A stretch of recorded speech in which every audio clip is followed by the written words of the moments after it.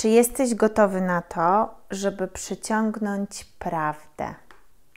Tak naprawdę bardzo dużo osób krąży wokół jakiegoś tematu, podejrzewa się o różne rzeczy, podejrzewa innych o różne rzeczy, a jaka jest prawda?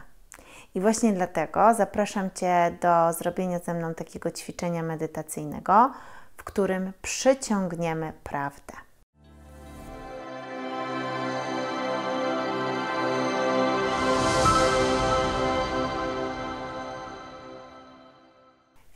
Usiądź wygodnie. Ja jestem w ogóle w warunkach domowych, bo oczywiście przepięknie się medytuje e, w pięknej naturze. Natomiast no, w domu też możemy sobie zrobić taki, takie miejsce, w którym będziemy pracować nad swoim rozwojem duchowym i będziemy medytować. Także zapraszam Cię do tego, żeby takie miejsce sobie stworzyć e, i znaleźć przede wszystkim czas i przestrzeń, taką, żeby Ci nikt nie przeszkadzał, no bo nie ma nic gorszego niż jak e, siedzisz w medytacji i nagle wydarza się coś, co powoduje, że tę medytację musisz przerwać. Więc zorganizuj sobie to wszystko, a następnie usiądź wygodnie. Nie krzyżuj ani rąk, ani nóg. Ja siedzę w pozycji medytacyjnej, mam prawą nogę przed lewą nogą. Zamykamy powoli oczy. Skupiamy się na oddechu. Wdech. I wydech. Wdech. i wydech. A teraz pomyśl sobie o tej sytuacji, która jest dla Ciebie trudna. Może dotyczyć Ciebie, Twojego tematu, który rozkminiasz z podświadomości, może dotyczyć jakiejś emocji, a może też dotyczyć kogoś. Nazwij sobie tą sytuację, która jest dla Ciebie trudna i w której potrzebujesz jasności.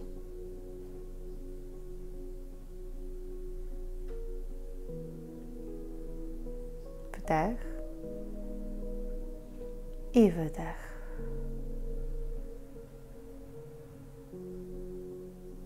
Wdech i wydech.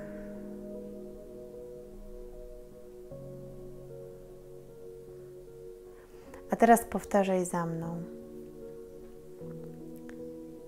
Daję gotowość, aby ukazała mi się prawda o tej sytuacji.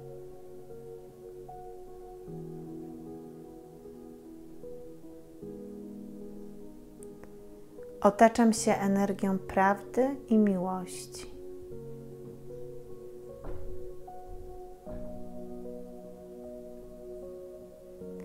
Rozumiem, że wszystko w moim życiu wydarza się po coś.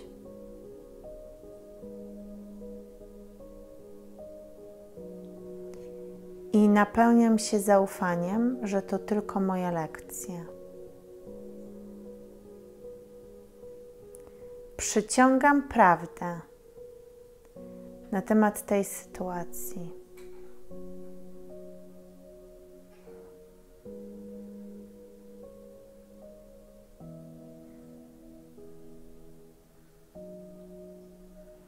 a następnie przyciągam prawdziwie działające dla mnie narzędzia.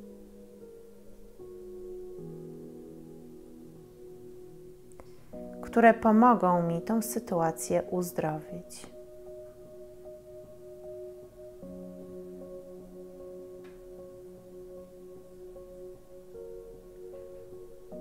Wdech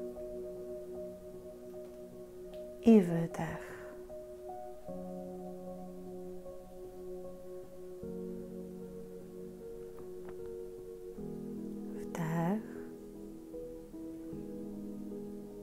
I wydech.